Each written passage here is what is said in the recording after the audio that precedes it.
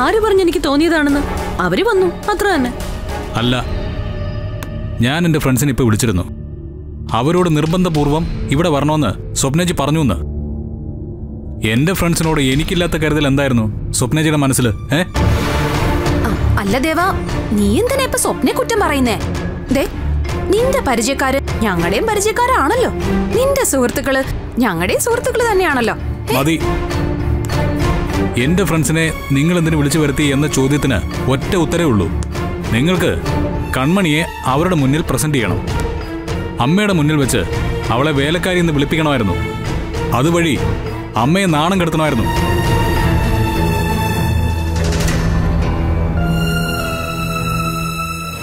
നിങ്ങളുടെ ഉദ്ദേശം അതായിരുന്നു എന്ന് തിരിച്ചറിഞ്ഞതുകൊണ്ടാണ് അമ്മയ്ക്കൊരു നാണക്കേട് ഉണ്ടാകണ്ടെന്ന് കരുതി കൺമണി ആശ്രമത്തിലേക്ക് പോയത്.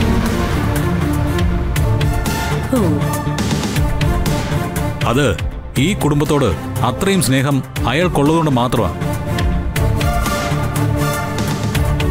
നീ വെറുതെ ഓരോന്ന് പറയല്ലേ? സ്വപ്നേച്ചി സ്വപ്നേച്ചി ആരെങ്കിലും നാണം കെടുത്തിയ? വിജയേട്ടൻ അത് ചോദ്യം ചെയ്യുമെന്ന് എനിക്കറിയില്ല. പക്ഷേ എന്റെ ഭാര്യയെ ആരെങ്കിലും കരുതി കൂട്ടി നാണം കെടുത്തിയ? അത് ചോദ്യം ചെയ്യാനുള്ള ചങ്കൂറ്റം എനിക്കുണ്ട്. അത് ഞാൻ ചെയ്യുകയും ചെയ്യും.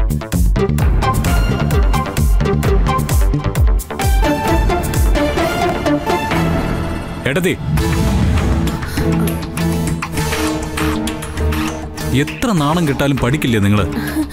അന്തസ്സില്ലായ്മ ഒരു അലങ്കാരമായിട്ട് കൊണ്ടു നടക്കില്ലേ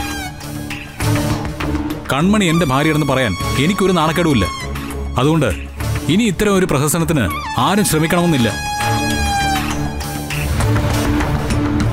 കൺമണി നീ വാ.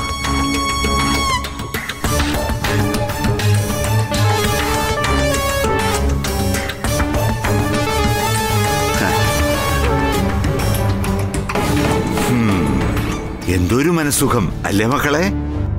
എന്തായാലും അച്ഛൻ നിങ്ങളെ സമ്മതിച്ചു തന്നിരിക്കും ഈ വലിയ വെടിക്കെട്ടുകൾ നടക്കുന്ന പറമ്പിൽ പിറ്റേ ദിവസം പിള്ളേരിറങ്ങി നടക്കും. എന്തിനാണെന്നറിയോ പൊട്ടാത്ത ചെറിയ ചെറിയ പടക്കങ്ങൾ എടുത്തിട്ട് തീയിലിട്ടോ തീ കൊടുത്തോ പൊട്ടിക്കാൻ. എന്നിട്ട് വെടിക്കെട്ടിനേക്കാളുള്ള ആഘോഷമായിട്ട് അവരാ ചെറിയ ശബ്ദം കേട്ടു നിൽക്കും. ഹും. എന്റെ പൊന്നുമക്കളുടെ അവസ്ഥ ഇപ്പൊ അതാ. കടുപ്പം കൂടിയ പടക്കങ്ങളൊക്കെ കഴിഞ്ഞു. ഇനി ചെന്നിരുന്ന് ചെറിയ ചെറിയ പടക്കങ്ങളൊക്കെ പൊട്ടിച്ച് കളിക്കാം? ചെല്ല്.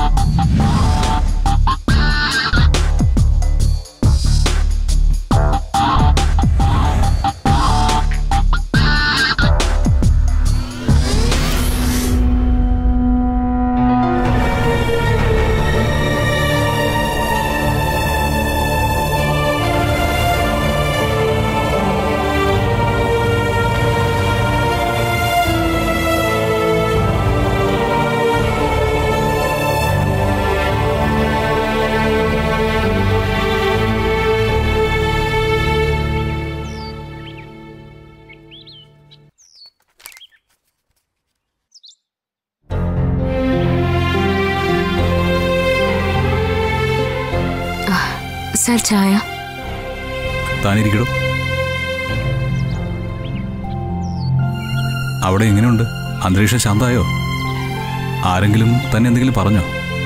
സാർ ഇങ്ങനെ പൊട്ടിത്തെറിച്ചത് കൊണ്ട് ഇനി ഇന്നാരും ഒന്നും പറയില്ല. അപ്പോ എന്നും ഞാൻ പൊട്ടിത്തെറിക്കുന്നത് നല്ലതല്ലേ? സാർ അത് ആ എന്താടോ? തനിക്ക് എന്നോടെന്തോ ചോദിക്കാനുണ്ടല്ലോ. അത് ചോദിച്ചാ സാറിന് അറിയോന്ന് ഉറപ്പില്ല അത്രയും കടുത്ത കാര്യമാണോ? കടുത്തതായതുകൊണ്ടല്ല സാർ. ഒക്കെ സാറിന് അറിയാൻ സാധ്യത കുറവാ. താനെന്തായാലും ചോദിക്ക്. ഞാനൊന്ന് ട്രൈ ചെയ്ത് നോക്കട്ടെ. മാത്രമല്ല താൻ ആദ്യമായിട്ട് ചോദിക്കുന്ന ഒരു സംശയമല്ലേ? ഏ? എന്നാ ഞാൻ പറയാം. ഈ തലയണ മന്ത്രം എന്നാൽ ശരിക്കും എന്താ സർ? തലയണ മന്ത്രോ? അതെ. കല്യാണം കഴിഞ്ഞ അന്നു മുതൽ സാറ് ശബ്ദമുയർത്തി അവരോട് എന്തെങ്കിലും വാക്ക് പറഞ്ഞ ഏട്ടത്തിമാര് അപ്പു പറയും ഞാൻ നടത്തുന്ന തലയണ മന്ത്രത്തിന്റെ ശക്തിയാണെന്ന്. അവരോട് ചോദിക്കാൻ പറ്റില്ലല്ലോ. എന്താണ് തലയണ മന്ത്രം എന്ന് അതാ സാറിനോട് ചോദിച്ചേ. അങ്ങനെ ഒരു കാര്യമുണ്ടോ? അതിന് വല്ല ശക്തിയും ഉണ്ടോ? എങ്ങനെയാ അത് സംഭവിക്കുക തന്റെ സംശയം തികച്ചും ന്യായമാണ്. ഒരുപാട് ആളുകൾ ഈ തലയണ മന്ത്രം എന്ന് കേട്ടിട്ടുള്ളതല്ലാതെ എന്താ സംഭവം എന്ന് ശരിക്കും അറിഞ്ഞുകൂടാ. ഈ ഭാര്യയും ഭർത്താവും ഒന്നിച്ചൊരു കട്ടിലിനാണല്ലോ കിടക്കുക. ഈ നമ്മളെപ്പോലുള്ള ഭാര്യ ഭർത്താക്കന്മാരല്ല. പൊതുവേ അങ്ങനെയാണല്ലോ അപ്പോ അവർ രണ്ടുപേരും എങ്ങനെ കിടക്കുക? അയ്യേ എനിക്കറിയില്ല. അങ്ങനത്തെ കിടപ്പല്ല. നോർമലായിട്ട് അവർ കിടക്കുന്നത് എങ്ങനെയായിരിക്കും? മുഖത്തോട് മുഖം നോക്കിയല്ലേ കിടക്കുക അങ്ങനെ രണ്ടുപേരുടെയും തല തലേണയിൽ അമർന്നിരിക്കുന്ന സമയത്ത് കാതോട് കാത് ചേർത്ത് കൈമാറുന്ന മന്ത്രങ്ങളാണ് തലയിണ മന്ത്രം. പിന്നെ വേറൊരു ഗുണം. ഒരു കാരണവശാലും തലേണ മന്ത്രം എന്ന സാധനം നല്ല കാര്യത്തിനായിരിക്കില്ല. ഒന്നുകിൽ അസൽ കുശുമ്പ് അല്ലെങ്കിൽ വേറെ ആർക്കെങ്കിലും ഉള്ള പണി. അതാണ് തലയണക്കിടയിലൂടെയുള്ള തലയണ മന്ത്രം എന്ന ആ സഞ്ചാരത്തിന്റെ പ്രത്യേകത. മനസ്സിലായോ? മനസ്സിലായി. പിന്നെ രണ്ടാമത്തെ ചോദ്യം. അതിന് ശക്തിയുണ്ടോ? ഭയങ്കര ശക്തിയാണ് കാരണം എന്താ? ആണും പെണ്ണും തമ്മിൽ ഏറ്റവും കൂടുതൽ പ്രേമിക്കുന്ന സ്ഥലം ബെഡ്റൂമാണ് പ്രത്യേകിച്ച് കട്ടിൽ. അപ്പോ അവിടെ കൊടുക്കുന്ന വാക്കിന് എവിടെയില്ലാത്തൊരു ശൗര്യം ഉണ്ടാവും. അയാളത് നടപ്പിലാക്കും. ആ പിന്നെ മൂന്നാമത്തെ ചോദ്യം. ഇതെങ്ങനെയാ ചെയ്യുക എന്ന് അതറിയണമെങ്കിൽ താൻ ബെഡ്റൂമിൽ വരികയാണെങ്കിൽ ഞാൻ പഠിപ്പിച്ചു തരാം. അയ്യോ വേണ്ട വേണ്ട. എനിക്കത് പഠിക്കാൻ വേണ്ട ഫലവും വേണ്ട. അപ്പൊ പിന്നെ പ്രശ്നം തീർന്നല്ലോ? അതെ ഏട്ടത്തിമാര് തലേണ മന്ത്രം കൊണ്ട് നേടിയെന്ന് പറയുന്ന കാര്യങ്ങൾ സ്വന്തം മനസ്സിനോട് തറപ്പിച്ച് പറയുക. എനിക്കത് അറിയില്ല എനിക്കതൊന്നും നേടേണ്ട കാര്യമില്ലെന്ന്. അപ്പൊ ക്ലീൻ ആയില്ലേ? ആ. ആ താനവിടെ ഇരിക്കടൂ. ഇതെന്താ സർ? അതറിയില്ലേ പുസ്തകങ്ങൾ? അതറിയാം പക്ഷേ ഇത് എനിക്ക് എന്തിനാ തരുന്നെന്ന് ചോദിച്ചേ? വായിക്കാൻ. ഈ വീട് വൃത്തിയാക്കലും അലക്കലും ഇവിടുത്തെ പണികൾ ചെയ്യലും അല്ലാതെ പെട്ടെന്ന് തനിക്ക് പുറം ലോകത്തെത്താനുള്ള മാർഗമാണ് വായന.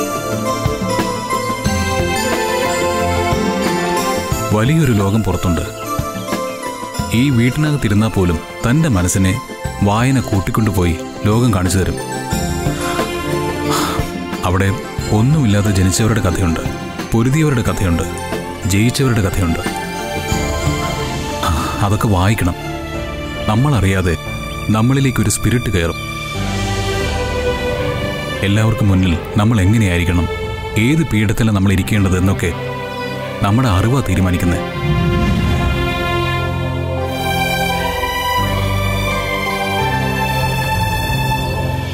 അതെ ഈ പുസ്തകം വായിക്കാൻ ഞാൻ പറഞ്ഞതിന്റെ അർത്ഥം തനിക്ക് വിവരമില്ലാന്ന് ഞാൻ ചിന്തിച്ചു എന്ന് തോന്നരുത് ഒരു കുടുംബത്തിനകത്ത് കുടുംബത്തെക്കുറിച്ച് മാത്രം ചിന്തിക്കാനാണെങ്കിൽ തന്നേക്കാൾ അറിവുള്ള തന്നേക്കാൾ നന്നായിട്ടിത് ചെയ്യാവുന്ന ഒരാളെയും എനിക്കറിയില്ല. പക്ഷേ അത് പോരാ. ആ ഒരുപാട് ചുവടുകൾ താൻ മുന്നോട്ട് പോവാനുണ്ട്. എന്തായാലും മാർക്ക് ലിസ്റ്റ് എന്റെ കയ്യിലുണ്ടല്ലോ. അതിന്റെ കാര്യങ്ങളൊക്കെ ഞാൻ നോക്കാം. അതിനു വേണ്ട ബേസിക് നോളജ് താൻ ഉണ്ടാക്കണം. ഏറ്റോ. ഏറ്റു.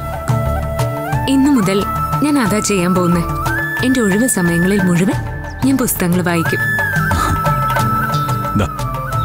തനിക്ക് പറ്റുള്ളൂ എനിക്ക് നല്ല വിശ്വാസമുണ്ട്.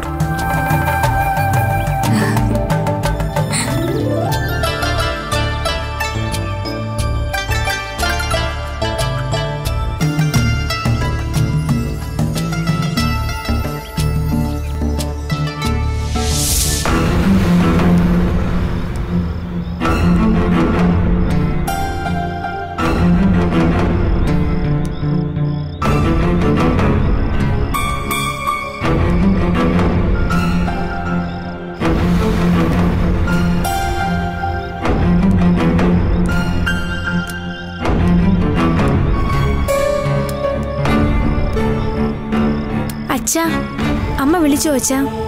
ഇല്ല. മോൾ പോയി കിടന്നോ? അമ്മ എല്ലാ ദിവസവും ഇത് എവിടെയാ പോകുന്നേ? ചോദിച്ച ഫ്രണ്ട്സിന്റെ കൂടെയാ ക്ലബിലാണ് എന്നൊക്കെയാ പറയുന്നേ. ഇവർക്കൊന്നും സ്വന്തം വീട്ടിൽ പോകണമെന്ന് ഒരു ചിന്തയും ഇല്ലേ? മോൾ പോയി കിടന്ന് ഉറങ്ങിക്കോ. അച്ഛൻ ചോദിക്കാത്തതാ കുഴപ്പമാവുന്നേ. എനിക്കിഷ്ടമല്ല അമ്മ ഇങ്ങനെ പോകുന്നതും വൈകി വരുന്നതും ഒക്കെ.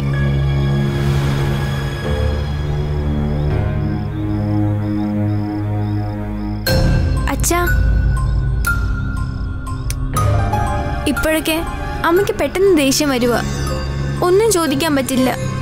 കൈ ഓങ്ങിക്കൊണ്ടാ സംസാരിക്കുന്നേ. നമ്മുടെ ചോദ്യങ്ങൾ ഒരാൾക്ക് ഇറിറ്റേഷൻ ആണെങ്കിൽ ചോദിക്കാതിരിക്കല്ലേ മോളെ നല്ലത്? ഞാൻ മാമനോട് പറയും. അച്ഛന് ചോദിക്കാൻ പറ്റില്ലെങ്കിൽ മാമൻ ചോദിക്കട്ടെ? വേണ്ട. ആരും ഒന്നും ചോദിക്കാൻ നിൽക്കണ്ട. കുട്ടികൾ കുട്ടികൾ ചെയ്യേണ്ട കാര്യം മാത്രം ചെയ്താൽ മതി. ചോദ്യം ആരുടെ ഭാഗത്തു നിന്നായാലും ചോദിച്ചത് ഞാനാണെന്നേ പറയൂ. എന്നിട്ട് ഞാൻ തലകുനിച്ച് നിൽക്കണം. അവസാനം എല്ലാം കൂടെ സഹിക്കാതാവുമ്പോ എന്തെങ്കിലും ചെയ്ത് എന്നെ അങ്ങ് തീർക്കും ഞാൻ. അതുവരെ ഉണ്ടാവും എല്ലാവരുടെയും സംശയങ്ങളും ചോദ്യം ചെയ്യലുമൊക്കെ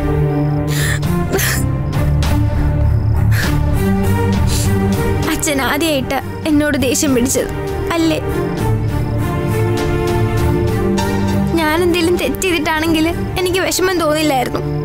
പക്ഷേ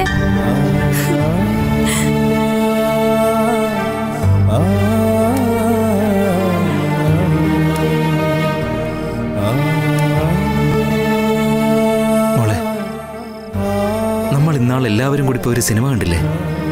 അതിലെ നായകന് ദേഷ്യം വരുമ്പോൾ അയാൾ ബാത്റൂമിൽ പോയിട്ട് ബക്കറ്റ് ചവിട്ടി പൊട്ടിക്കുന്ന ഒരു സീനുണ്ട്.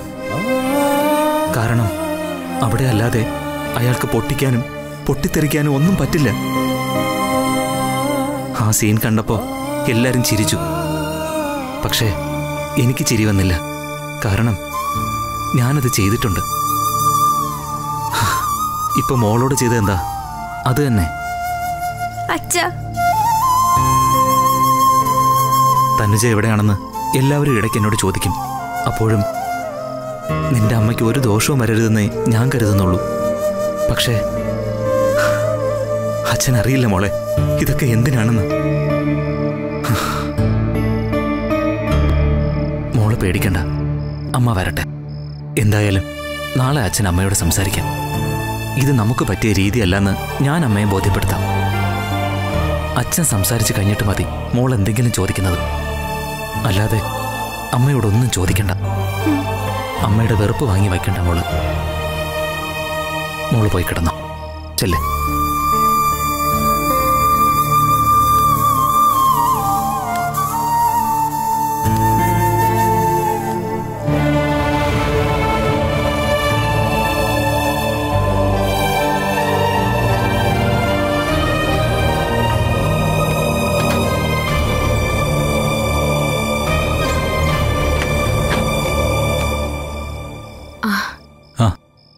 ഇരിക്കടോ.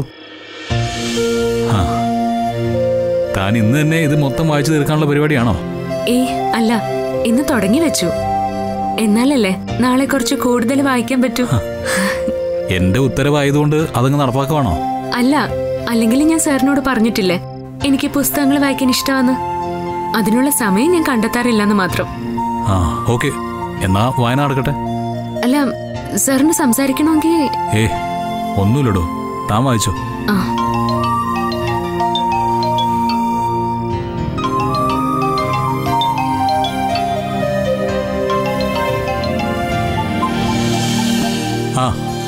എന്താടാ? ഞാൻ കരുതി നീ ഉറങ്ങിയിട്ടുണ്ടാവുമെന്ന്. ഏയ് ഉറങ്ങാൻ ഇനിയും വൈകും. നീ ഇത്ര പെട്ടെന്ന് തിരിച്ചോ? ഞാൻ വരുന്ന വഴിയാ. ലോങ് ഡ്രൈവ് ചെയ്ത് നല്ല ക്ഷീണം. ഇടയ്ക്കൊന്ന് നിർത്തി വിളിക്കാന്ന് വിചാരിച്ചു. എടാ ക്ഷീണം ഉണ്ടെങ്കിലേ ഒരു കാരണവശാലും വണ്ടി ഓടിക്കരുത്. അതല്ല എവിടെയെങ്കിലും ഒന്ന് ഇറങ്ങി ഫ്രഷ് ആയാൽ ഓക്കെ ആണെങ്കിൽ താൻ കണ്ടിന്യൂ ചെയ്തോ? അതല്ലെങ്കിൽ എവിടെയെങ്കിലും ഒരു മുറിയെടുത്ത് താമസിച്ചോ? ഈ രാത്രി ഉണ്ടാകുന്ന സകല ആക്സിഡന്റിനും കാരണം ഇങ്ങനത്തെ ലോങ് ഡ്രൈവും ക്ഷീണവുമാ. അതത്രേ ഉള്ളൂ അല്ല നിന്റെ പെണ്ണുമ്പുള്ള മുറിയിലുണ്ടോ? ആ ഉണ്ടടാ. നിങ്ങൾ കിടന്നോടാ. ഇല്ല. അല്ല എന്തായി നിങ്ങളുടെ ദാമ്പത്യത്തിന്റെ കിടപ്പുവശം? കിടപ്പുവശോ? കിടപ്പ് വശോ അതേടാ. തൽക്കാലം രണ്ടുപേരും സെപ്പറേറ്റ് ആയിട്ടല്ലേ കിടക്കുന്നേ? അതുകൊണ്ടാ കിടപ്പുവശം ഓക്കെ ആയോ എന്ന് ഞാൻ ചോദിക്കുന്നേ. ഇല്ല. നീ ക്ഷണിക്കാഞ്ഞിട്ടാണോ? അതോ കൺമണി സമ്മതിക്കാഞ്ഞിട്ടാണോ? രണ്ടും സംഭവിച്ചില്ല. എടാ സത്യം പറ. നിന്റെ മനസ്സിന്റെ ശരിയായ അവസ്ഥ ഇപ്പൊ എന്താ? നിന്റെ മനസ്സിൽ ശരിക്കും ഇപ്പൊ ആരാ? ഇപ്പോ എന്റെ മുമ്പിലിരിക്കുന്ന ആൾ തന്നെ. ദിവസേന അതിന്റെ ആഴം കൂടി വരുന്നതേ ഉള്ളൂ. വല്ലാത്ത കഷ്ടം തന്നെ. ഇരിക്കുന്നത് ഒരു മുറിയിൽ. ബന്ധം ഭാര്യയും ഭർത്താവും. പക്ഷേ പണ്ടെപ്പോഴോ സ്കൂളിൽ ഒന്നിച്ച് പഠിച്ച പെൺകുട്ടിയെ പ്രേമിക്കാൻ കാണിക്കുന്ന വെപ്രാളം കാണിച്ചു തുടങ്ങണം. എടാ നീ തന്നെ അങ്ങോട്ട് കയറി അങ്ങ് പ്രേമിക്ക്.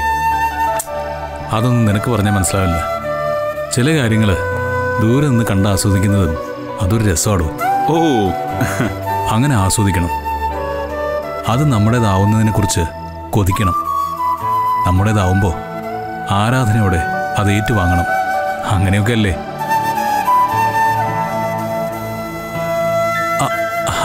അല്ലടാ ബിസിനസിന്റെ കാര്യത്തിലാവുമ്പോൾ അല്പം സാഹിത്യമൊക്കെ ആവാം. അതിന് കുഴപ്പമൊന്നുമില്ലടാ. എനിക്ക് മനസ്സിലായി. നിന്റെ പെണ്ണുപിള്ള നിന്നെ ഒന്ന് നോക്കി. തൽക്കാലം നിനക്ക് അവിടുന്ന് ഒന്ന് ഉരുണ്ട് രക്ഷപ്പെടണം. ആയിക്കോട്ടെ. തൽക്കാലം ഞാനൊരു കട്ടൻ അടിക്കാൻ വേണ്ടി പോവുക ഗുഡ് നൈറ്റ് നിന്റെ ആരാധനാ പ്രേമം നടക്കട്ടെ. ഓക്കേടാ. ആ ഞാൻ പറഞ്ഞല്ലോ നൈറ്റ് ഡ്രൈവ് നല്ല കെയർ വേണം. ഓക്കെ ഗുഡ് നൈറ്റ് ശരിയടാ.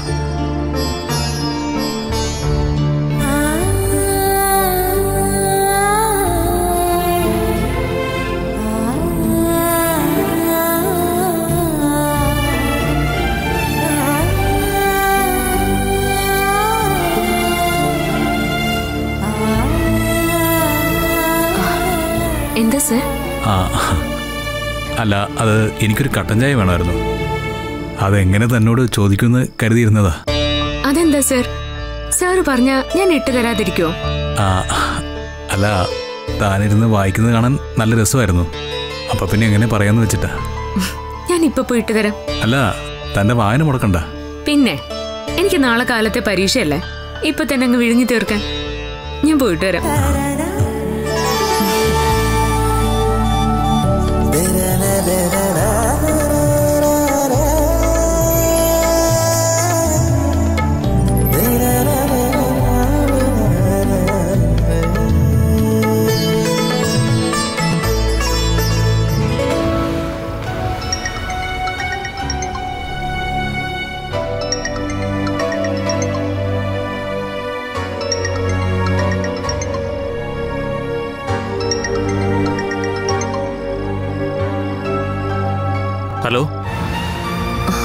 തനുജ താനിത് എവിടെയാ?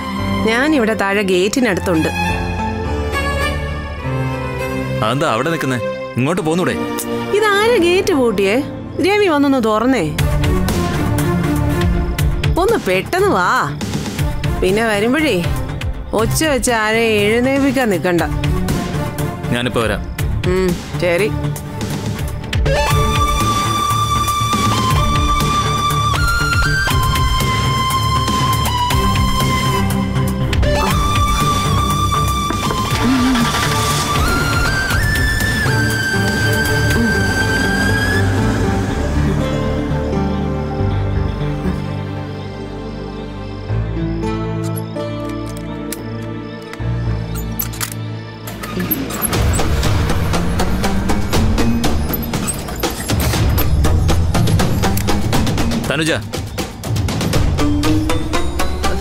എവിടെയായിരുന്നു നീ ഇതുവരെ? അതൊക്കെ മുറി ചെന്നിട്ട് പറയാം. ആ പിന്നെ ഗേറ്റ് പൂട്ടിയത് അവളായിരിക്കും കൺമണി. എന്നാലല്ലേ ഞാൻ വന്ന സമയവും പോയ സമയവും ഒക്കെ അവൾക്ക് അടയാളപ്പെടുത്താൻ പറ്റൂ? കൺമണി തന്റെ അത്തരം കാര്യങ്ങളൊന്നും ചോദിക്കാറില്ല. കൺമണി എന്നല്ല ഇവിടെ ആരും ചോദിക്കാറില്ല. അതുകൊണ്ടല്ലേ നീ ഈ നേരത്തൊക്കെ കയറി വരുന്നത്? ഓ നിങ്ങളുടെ ഉദ്ദേശം മനസ്സിലായി. സംശയം അല്ലേ? തനുജ നീ കുടിച്ചിട്ടുണ്ടല്ലേ. ഇതൊക്കെ നമ്മൾ മുമ്പേ സംസാരിച്ചിട്ടുള്ളതല്ലേ? ഞങ്ങൾ കൂട്ടുകാർ കൂടിയിരുന്ന് ചെറുതായിട്ടൊക്കെ കഴിക്കും. അതൊന്നും ഇപ്പൊ വലിയ തെറ്റൊന്നുമല്ല. ഞാൻ ഇറങ്ങി വന്നപ്പോ പെട്ടെന്ന് തന്നെ നിന്റെ ഫ്രണ്ട്സ് ഒക്കെ പോയെന്താ? അല്ലെങ്കിൽ ഒരു ഹായ് ഒക്കെ പറയാറുള്ളല്ലേ അതെ ഇങ്ങനെ കിള്ളി പൊളിച്ച് ഓരോന്ന് ചോദിച്ചോണ്ടിരുന്നാലേ നിങ്ങൾ സംശയരോഗിയായിട്ട് മാറും. അവസാനം ഭ്രാന്ത് പിടിക്കും. ഞാൻ പോവാ.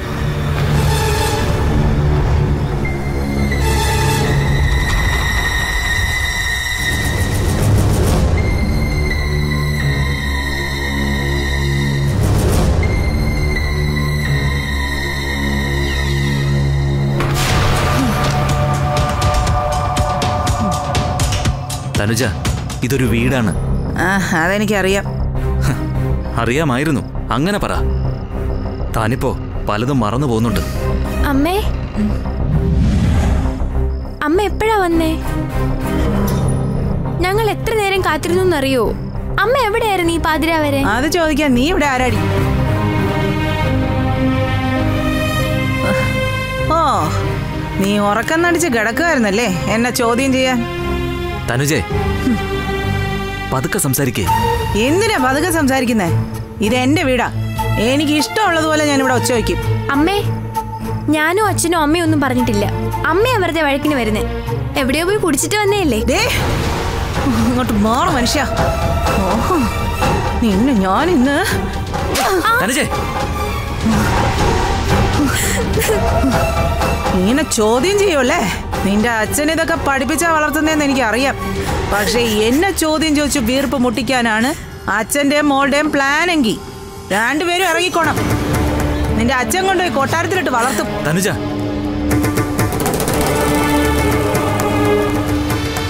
പ്ലീസ് തനുജ എന്ത് കാര്യത്തിന് ഒരു പരിധിയുണ്ട്? നീ ചെയ്ത തെറ്റിന് മോളെ തല്ലിയ അതൊരു പരിഹാരമാവില്ല ഞാൻ എന്ത് തെറ്റ് ചെയ്തു?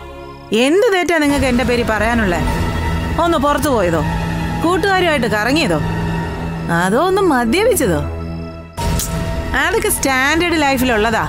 ആ അതൊക്കെ നിങ്ങൾക്ക് നിങ്ങൾക്കെന്ത് മനസ്സിലാവാൻ മനസ്സിലാവില്ലടി. എനിക്കൊന്നും മനസ്സിലാവില്ല. നീ സംസാരിക്കുന്നതിന് മുന്നിൽ തല കുനിച്ച് തല കുനിച്ച് നിന്ന് അവസാനം ആണുങ്ങളുടെ കൂട്ടത്തിൽ കൂട്ടാൻ പറ്റാത്തവനാക്കി നീ എന്നെ. എടി നീ ഇടയ്ക്കിടയ്ക്ക് പറയുമല്ലോ. ഞാൻ ആണാണോ എന്ന് നിനക്ക് സംശയമുണ്ടെന്ന്? നിനക്കല്ല സംശയം. എനിക്കാ. നിനക്കല്ലടി എന്നോട് വെറുപ്പ് തോന്നേണ്ടത്. എനിക്കാ. കഴിഞ്ഞോ? എന്നാ പിന്നെ? അച്ഛനും മോളും കൂടി കെട്ടിപ്പിടിച്ച് കുറേ നേരം ഇരുന്ന് കരയെ. എനിക്കിപ്പോ കൂടെ കൂടാൻ സൗകര്യമില്ല. അമ്മ ഞങ്ങളുടെ കൂടെ കൂടണ്ട. അമ്മ വലിയ വീട്ടിൽ ജനിച്ചതാ. അമ്മയുടെ അച്ഛൻ വലിയ കോടീശ്വരനാ. എന്റെ അച്ഛൻ ഒരു പാവ. അച്ഛന്റെ കയ്യിൽ കാശുമില്ല. പക്ഷെ അച്ഛൻ എനിക്ക് വലിയ ഇഷ്ടം. അമ്മയെക്കാളും ഒരുപാട് ഒരുപാട് ഇഷ്ടം. നീ ബോഡി അവിടുന്ന്. എനിക്ക് ജീവിക്കാൻ നിന്റെ ഒന്നും സ്നേഹത്തിന്റെ ആവശ്യമില്ല. എനിക്ക് സൗകര്യമുള്ളതുപോലെ ഞാൻ ജീവിക്കും. സൗകര്യമുള്ളടത്ത് സൗകര്യമുള്ളവരുടെ കൂടെ പോവും. എന്നെ ചോദ്യം ചെയ്യാൻ വന്നാലേ പഠിപ്പിക്കും ഞാൻ. ആ പഠിപ്പിക്കും ഞാൻ അതിനെ പഠിപ്പിക്കുമെന്ന് പറഞ്ഞാൽ പഠിപ്പിക്കും അച്ഛാ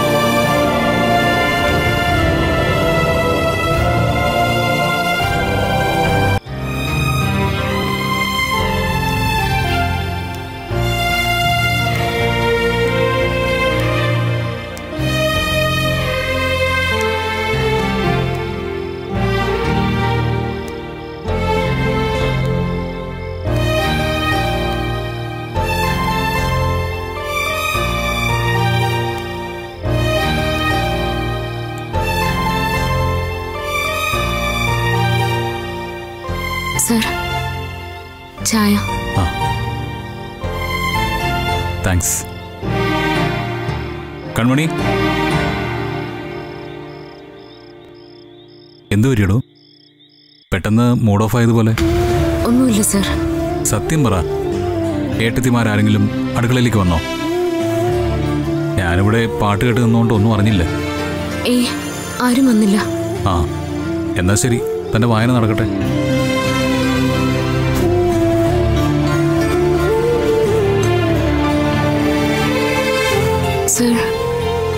എന്താടോ? അല്ല ഇന്നിനിപ്പോ വായിക്കുന്നില്ല. ഒരു മൂടില്ല. ആ അപ്പൊ പിന്നെ ഞാൻ സംശയിച്ചത് ശരിയാ. അവിടെ എന്തോ ഒരു പ്രശ്നം ഉണ്ടായിട്ടുണ്ട്. പറയടോ. അത് എനിക്ക് സാറിനോട് ഒരു കാര്യം പറയാനുണ്ട്. അതല്ലേ ഞാൻ ചോദിച്ചത്. പറ. അല്ല ഞാൻ പറഞ്ഞ അത് സാറിന് ഇഷ്ടാവോന്ന് അറിയില്ല പിന്നെ ഗൾഫിൽ ഞാൻ ഇത്രയും കാലം പഠിച്ചത് ജ്യോതിഷമൊന്നുമല്ല. അതുകൊണ്ട് ഭാവി പ്രവചിക്കാനൊന്നും എനിക്കറിയില്ല. കാര്യം കേട്ടാൽ അതിന്റെ റിയാക്ഷൻ എന്താണെന്ന് അപ്പൊ തീരുമാനിക്കാം കേട്ടോ.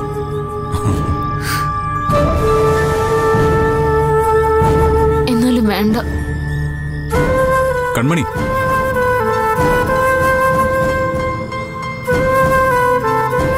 താൻ കൊള്ളാലോ. ഇലയിട്ട് ഒരുത്തനെ വിളിച്ചുകൊണ്ട് വന്നിരുത്തിയിട്ട് ഊണില്ലെന്ന് പറയും പോലെ. പറയടോ. ഞാൻ ഒന്ന് ആലോചിക്കട്ടെ. തന്നോട് ഞാൻ പരീക്ഷയ്ക്കുള്ള ചോദ്യമൊന്നും അല്ല ചോദിച്ചത്. താൻ ഇപ്പൊ എന്നോട് പറയാൻ ഉദ്ദേശിച്ചത് എന്താണെന്നല്ലേ? അതിനിത്ര ആലോചിക്കാൻ എന്താ? ആലോചിക്കണം. ഒരു കാര്യം ചെയ്യാ. ഞാൻ നാളെ രാവിലെ സാറിനോട് പറയാം. ഒരു രാത്രി മുഴുവൻ ആലോചിച്ച് തീരുമാനം എടുക്കേണ്ടുന്ന വിധത്തിൽ അത്ര പ്രാധാന്യമുള്ള കാര്യമാണോ? പ്രാധാന്യമുള്ള കാര്യോ? ഞാൻ എന്തായാലും രാവിലെ പറയാം. ശരി. രാവിലെ വരെ തനിക്ക് ഞാൻ സമയം തരും. പക്ഷേ രാവിലെ എനിക്ക് വീണ്ടും ആലോചിക്കാനുണ്ടെന്ന മറുപടി പറയരുത്.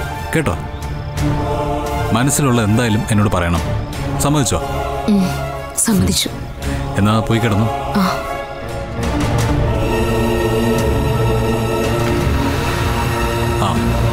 കൺമണി?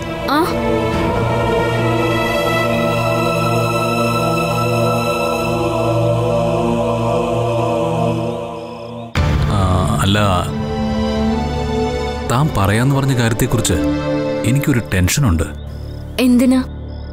ഞാൻ പറയാൻ പോകുന്ന കാര്യം സാറിനെ ബാധിക്കുന്നൊന്നുമല്ല. അതുകൊണ്ട് ടെൻഷൻ വേണ്ട. പക്ഷേ എങ്ങനെ ചോദിച്ചാലും ഞാൻ ഇന്നത് പറയില്ല. എന്നാ ശരി. ഞാൻ ചോദിക്കുന്നില്ല. അപ്പോ ഗുഡ് നൈറ്റ്.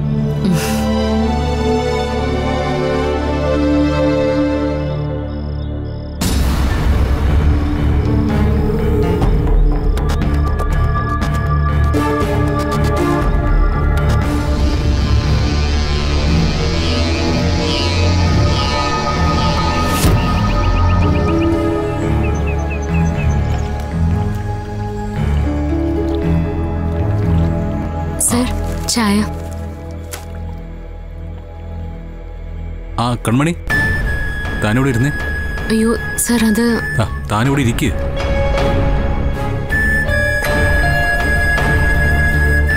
അതെ എനിക്കൊരു കാര്യം അറിയണം. എന്താ സർ? ഇന്നലത്തെ കാര്യം ഇന്ന് നേരം വെളുത്ത താൻ എന്നോട് പറയാന്ന് പറഞ്ഞില്ലേ? അതങ്ങ് പറഞ്ഞേ. അയ്യോ സാർ അത് ഇത്ര ഗൗരവത്തിൽ കൊണ്ട് നടക്കുകയാണോ? അത് ഇവിടെ വെച്ച് പറയാൻ പറ്റില്ല സർ. ആരെങ്കിലും കേട്ടാ ഞാൻ പിന്നെ പറയാം. അത് ശരിയാവില്ല. താൻ അത് ഇപ്പൊ പറയാതെ തന്നെ ഞാൻ ഇവിടുന്ന് വിടില്ല.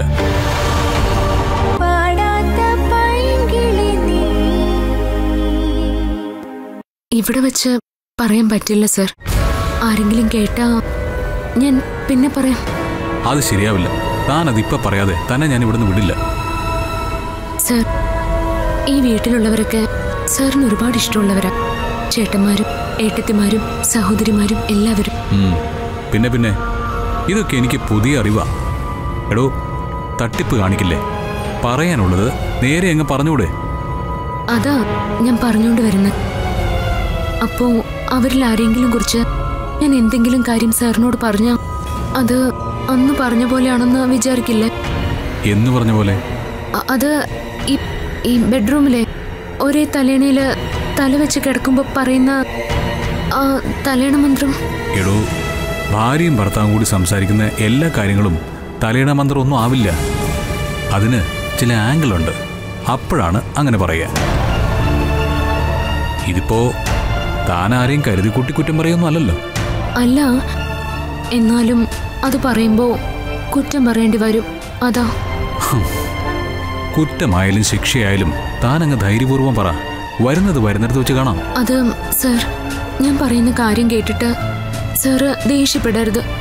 ബഹളം വയ്ക്കുകയും പൊട്ടിത്തെറിക്കുകയും ചെയ്യരുത്. എടോ സത്യം പറ. ഇവിടെ ആരും അറിയാതെ താൻ ഈ വീട്ടിൽ ബോംബ് വല്ലതും കൊണ്ടുവച്ചിട്ടുണ്ടോ? അയ്യോ. അല്ല ഈ സ്ഫോടനങ്ങൾക്ക് മുമ്പ് മാത്രമേ ഇത്തരം അനൗൺസ്മെന്റ് ഞാൻ കേട്ടിട്ടുള്ളൂ. അതുകൊണ്ട് ചോദിച്ചതാ. സർ എനിക്ക് ശരിക്കും പേടിയായിട്ടോ. പേടിയാണെങ്കിൽ കൂട്ടിന് ഞാനുണ്ട്. താൻ എന്തു പറഞ്ഞാലും ഞാൻ പൊട്ടിത്തെറിക്കില്ല. ആരെക്കുറിച്ചാണെങ്കിലും തനിക്ക് ധൈര്യമായിട്ട് എന്നോട് പറയാം. പറ. പറയാതെ തന്നെ ഞാൻ വിടില്ല. ദേവാ. ദേ അച്ഛൻ വിളിക്കുന്നു. അച്ഛൻ വിളിക്കട്ടെ. ഇത് പറഞ്ഞിട്ട് പോയാ മതി. ദേവാ. ദാ വരുന്നച്ചാ. താൻ പറയടോ. അച്ഛൻ എന്തെങ്കിലും ആവശ്യത്തിന് വിളിക്കുന്നതായിരിക്കും. സാർ ചെല്ല. ദേ ഇനി പറയാതെ ഉഴപ്പിയാലേ എന്റെ സ്വഭാവം മാറും കേട്ടോ. ആ.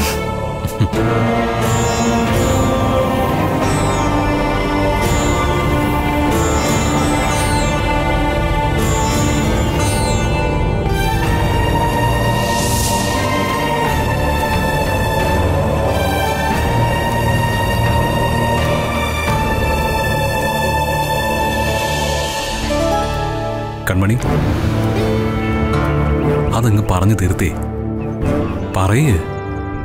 സർ തനു ചേച്ചിയുടെയും രവിയേട്ടന്റെയും കാര്യം. അവർ തമ്മിൽ നല്ല രസത്തിലല്ലെന്ന് സാറിനറിയാലോ? രവിയേട്ടൻ പാവോ? ചില നേരത്ത് രവിയേട്ടന്റെ സംസാരം കേട്ട സങ്കടം വരും. ഈ അടുത്ത കാലത്തായിട്ട് തനു ചേച്ചിക്ക് ഒരുപാട് മാറ്റമുണ്ട്. എപ്പോഴും പുറത്തു പോകുന്നു. എന്നും വൈകി വരുന്നു. സാറും അച്ഛനും ഒക്കെ രവിയേട്ടനോട് ചോദിക്കുമ്പോൾ പാവം എന്തൊക്കെയോ പറഞ്ഞ് അഡ്ജസ്റ്റ് ചെയ്യാ. ഇന്നലെ രാത്രി ഞാൻ സാറിന് കട്ടനിടാൻ പോയില്ലേ? അപ്പോഴാ തനു ചേച്ചി വന്ന് ഫ്രണ്ട്സിന്റെ കൂടെ ആയിരിക്കും. എന്നാലും നമ്മുടെ വീട്ടിൽ നിന്ന് അങ്ങനെ ഒരാൾ പോയി ഒരു രസത്തിന് കുടിച്ചിട്ടൊക്കെ വരിക എന്ന് പറഞ്ഞ.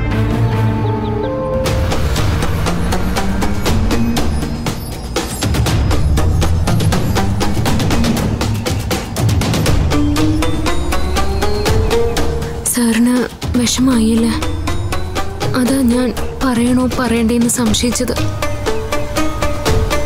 താൻ പറഞ്ഞത് യാഥാർത്ഥ്യമല്ലേ? എന്തുകൊണ്ട് ഇത് പറയാൻ വൈകി എന്നതില്ല എനിക്ക് വിഷമം. സർ ഞാൻ ഒരിക്കലും ഇത് അച്ഛനോട് പറയാന്ന് പറഞ്ഞപ്പോ രവിയേട്ടൻ പറഞ്ഞത് എന്താണെന്നറിയോ രവിയേട്ടന്റെ കുടുംബകാര്യങ്ങളെങ്കിലും രവിയേട്ടന് കൺട്രോൾ ചെയ്യാൻ കഴിഞ്ഞില്ലെങ്കിൽ പിന്നെ എന്തിനാ ജീവിച്ചിരിക്കുന്നതെന്ന് അതുകൊണ്ടാ ഞാൻ സാറിനോട് പറയാതിരുന്നത് പക്ഷേ എനിക്കൊരു പേടി. എല്ലാം കൈവിട്ട് പോവാണോ എന്ന്